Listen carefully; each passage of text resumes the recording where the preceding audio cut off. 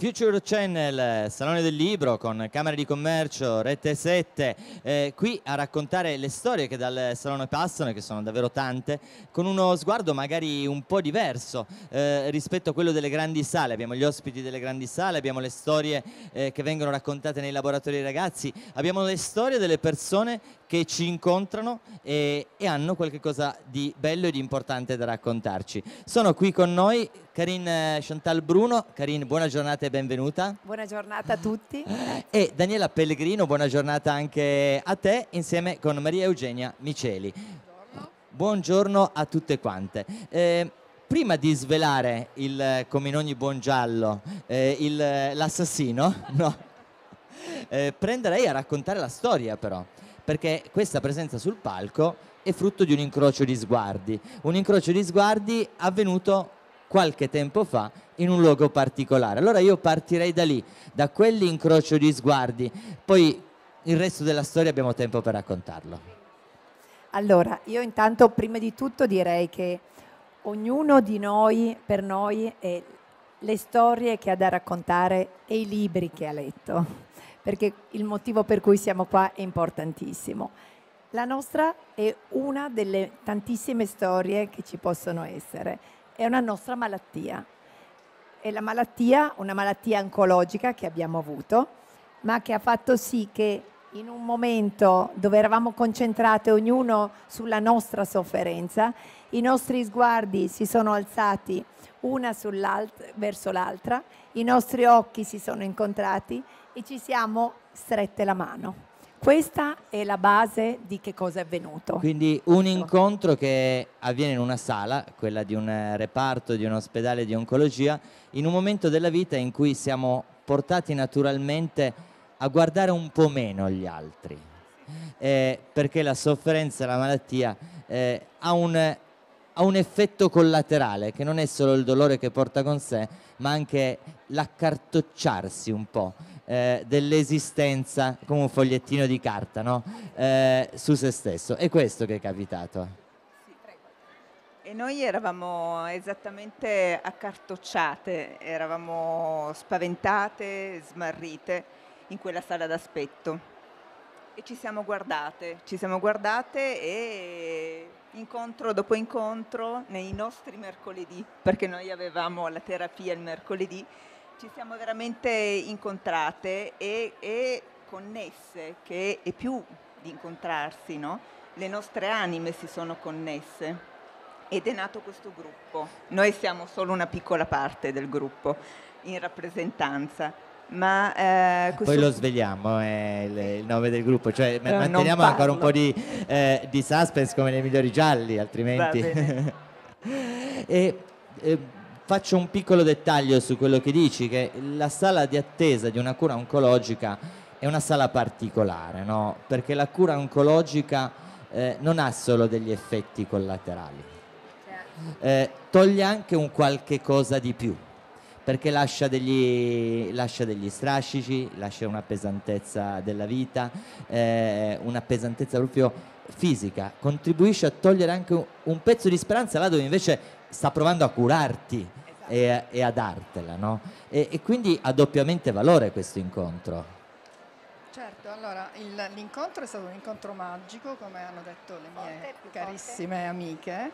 E, ehm, la cosa fondamentale è stata non sentirsi mai da sole ad affrontare l'oscurità perché eh, vedere sempre una, un, una, luce che viene dallo sguardo, dal sorriso di chi è accanto a te e chi ha passato magari cinque minuti prima quello che adesso stavi per affrontare tu, quindi chi entra e esce dalla sala delle infusioni in attesa di essere chiamato ha un'attesa che a volte è di ore, che sono secoli, quindi potersi scambiare eh, un, un, sorriso, una parola di conforto, un incoraggiamento, che è la cosa che ha portato avanti tante di noi, che alcune avevano anche eh, paura di affrontare o a un certo punto avevano anche desiderio di, di, di mollare perché, perché, è dura, perché non sempre si arriva a poter fare la terapia per quello che succede nel frattempo, il nostro corpo può non rispondere come noi ci aspetteremmo, come i medici si attendono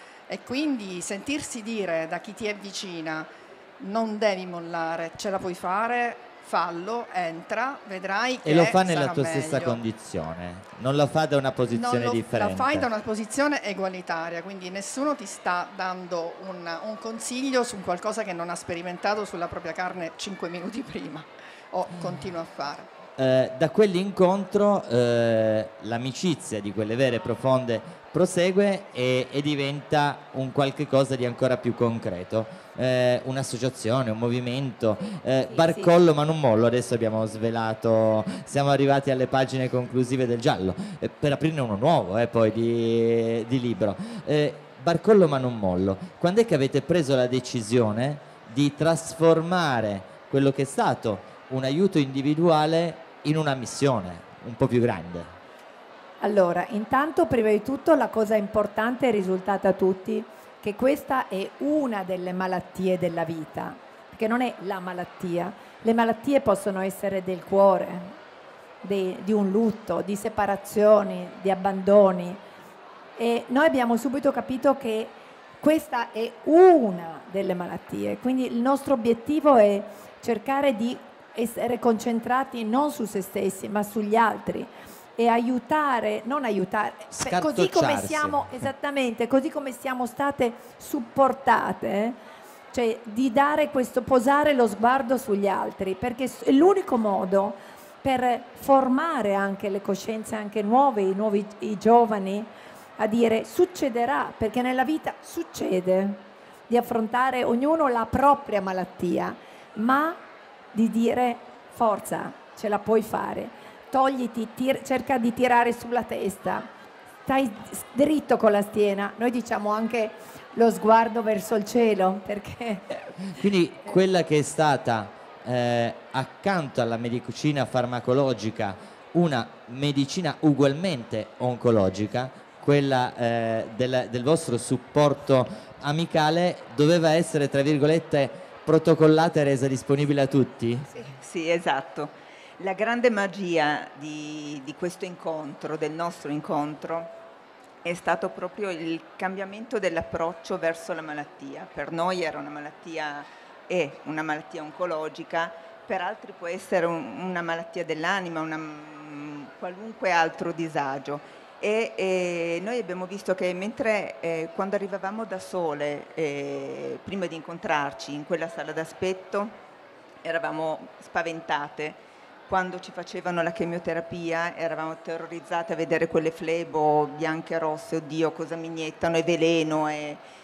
Quando, andando avanti i, nei nostri mercoledì, man mano che nasceva questo gruppo, quel giorno è diventato il giorno in cui ci incontravamo, scherzavamo, ehm, ci stavamo, sdrammatizzavamo, stavamo veramente insieme. Nel piccolo momento... principe di, c'è scritto nell'incontro con la Volpe che ci vogliono i riti.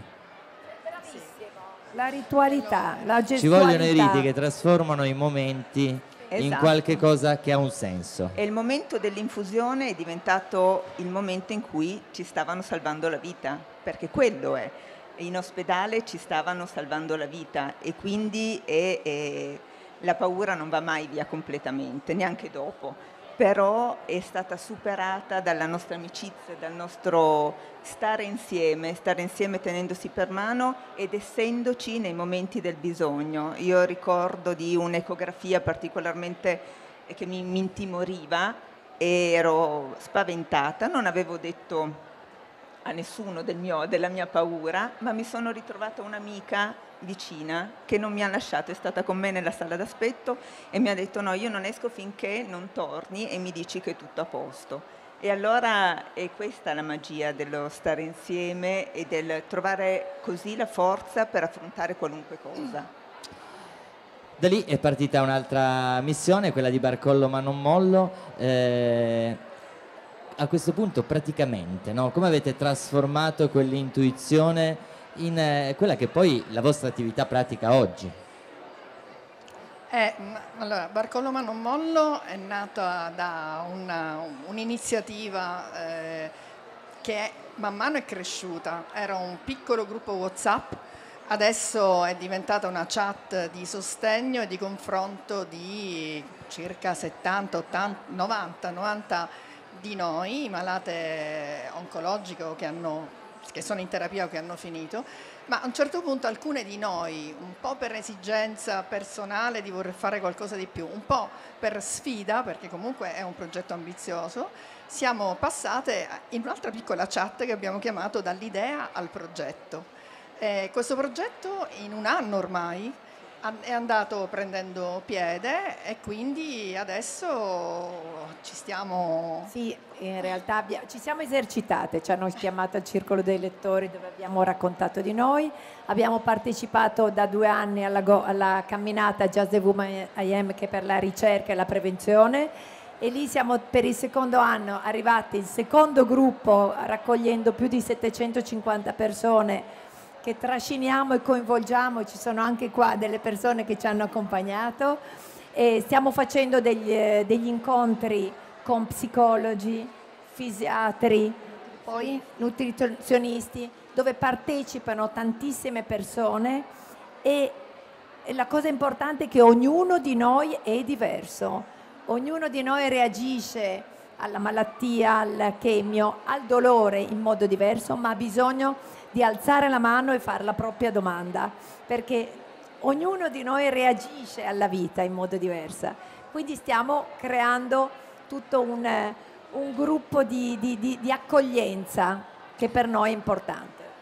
Eh, rispetto alle cure oncologiche, eh, la prima precauzione, eh, che di solito viene, di solito la domanda base, adesso vado a tagliarmi i capelli, trovo una parrucca. E non è uno scherzo, non è una battuta questa, ma voi lo sapete meglio di me. E, però c'è un altro correlato delle cure oncologiche che è la depressione, che spesso accompagna e che a volte è un prezzo molto più grande. Come, come affrontarlo? Allora, intanto questa, questa forma di malattia, come tante altre, coinvolge la, il corpo, il fisico, l'anima, l'ambito familiare, l'ambito lavorativo, tu, è un vero e proprio tsunami che ti arriva addosso e tu devi imparare, rimparare a riconoscerti perché non ti riconosci guardandoti allo specchio e, e ti sfiora l'anima e qualcuno l'attraversa completamente, quindi è, è per quello noi abbiamo bisogno e vogliamo creare gruppi di supporto dove la mia, di gruppo anche molto, perché sentire la mia esperienza, la mia esperienza, confrontarsi con la sua, prima di tutto rende, relativizza il dolore. E quindi fa sempre sì che venga fuori la gratitudine, perché la prima cosa importante, quando sei accanto a delle persone e senti delle storie, non puoi che alzare gli occhi al cielo e ringraziare sempre. Non so se volete contribuire, ovviamente la domanda era ampia, quella sulla depressione eh, credo che sia uno dei grandi temi. Sì, ma infatti il nostro primo obiettivo, no, quando abbiamo presentato il nostro progetto all'ospedale, era proprio l'accoglienza, perché per noi, noi non siamo, oddio, nel nostro gruppo c'è anche una psicologa, siamo, abbiamo professionalità molto diverse fra di noi, ma... Ehm, il nostro primo gruppo, il nostro primo obiettivo era proprio quello di creare il gruppo in cui ognuno si sentisse riconosciuto, sentisse, vedesse il proprio dolore, il proprio disagio riconosciuto dagli altri e quindi no, eh, siamo, mh, mm, una persona che ti prende per mano, ti riconosce e ti sta vicino, ti aiuta con eh, poi ovviamente se la depressione eh, avanza è giusto che sia un professionista a prendersi cura della persona. Però noi nel nostro piccolo ci siamo date questo come obiettivo, quello di accogliere le persone e di, starle, di, di, di stringerle in un abbraccio. Ecco, noi abbiamo potuto verificare che se uno dal primo giorno affronta la malattia con qualcuno che ti prende per mano, ma ti cambia l'esper- l'esperienza, uh-huh. Cioè te, te, la fa proprio cambiare. Poi è come un'onda, no? Come raccontava prima, dove ognuno guarda chi è passato e allora ti prende mano e fai vedere. Io mi ricordo sempre un giorno che sono arrivata con mio padre che non riuscivo neanche a camminare e ad un certo punto ho visto una di loro che era soltanto un mese e mezzo prima di me aveva fatto il mio percorso mi guarda e mi dice ero lì come te io, ero lì come te un mese e mezzo fa.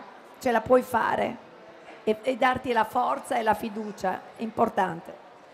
Adesso vi faccio una domanda scomoda e chiedo perdono preventivamente a mia madre.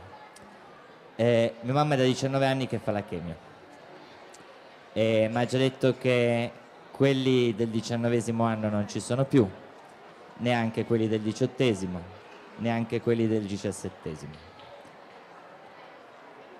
Quando succede così, perché poi fa parte, eh, avete scoperto qualche cosa, non lo so, eh, talmente, mi rendo conto che è una domanda talmente difficile a cui rispondere, però credo che anche questo vada messo dentro il lavoro di supporto che viene fatto perché è una malattia che tocca il paziente ma tocca poi anche tutto il nucleo familiare.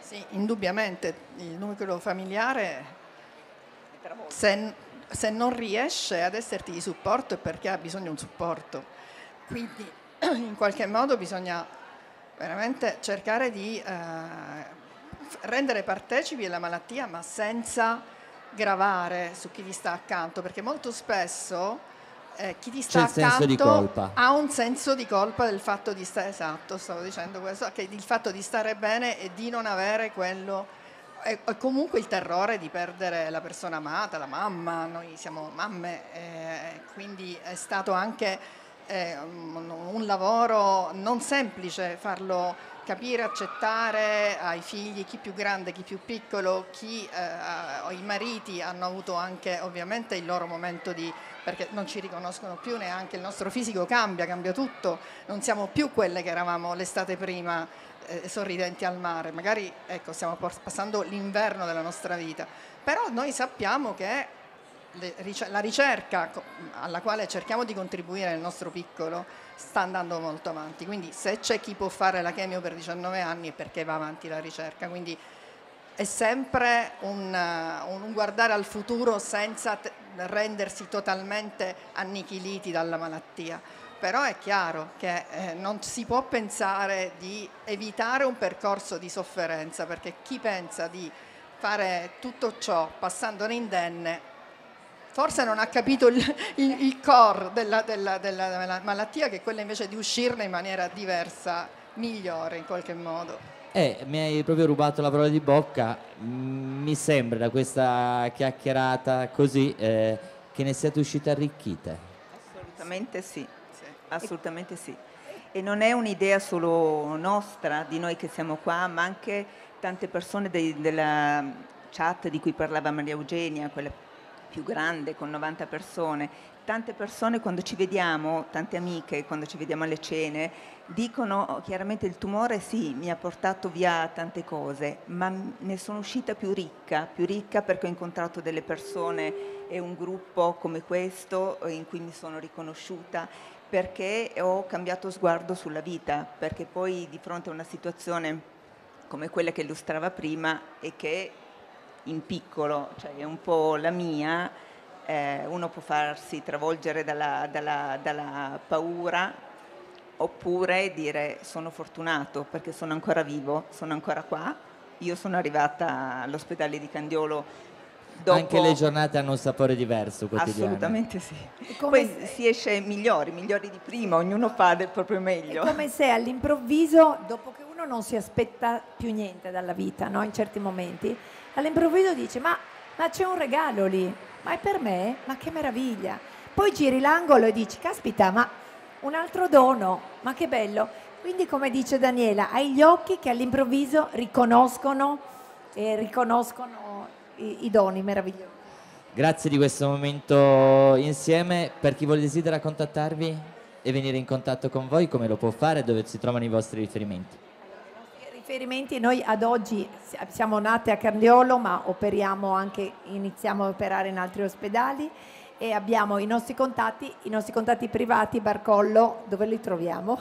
Su Instagram sì, Barcollo ma non mollo esatto. team. Barcollo ma non mollo team. team. Grazie. Perché dobbiamo essere Grazie a voi. C'è, c'è, c'è una divisione. Ci completiamo, ci completiamo. Grazie ancora e Grazie. passo la linea alla regia.